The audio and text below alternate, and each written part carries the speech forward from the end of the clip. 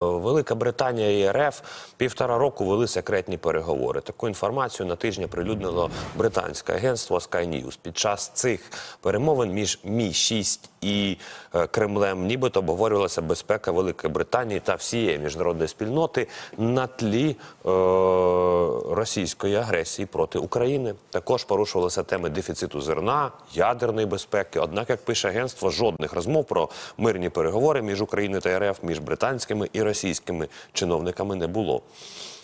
Нагадаю, влітку вже американське NBC News повідомляло про секретні перемовини з Кремлем, але вже за участі США. Тоді зустріч нібито відбулася у Нью-Йорку, коли у місті перебував голова російської МЗС Сергій Лавров. NBC стверджували, що під час таємних переговорів мова йшла про окуповані Росією території України, а також нібито про пошук дипломатичного вирішення війни, яке б влаштовувало обидві сторони. За даними NBC, зустріч відбувалася в. Е, е, з відома адміністрації президента Сполучених Штатів Джо Байдена, але не за е, вказівкою. Варто зауважити, що на дипломатичному жаргоні такий формат зустрічі називають дипломати, е, дипломатією другого напрямку.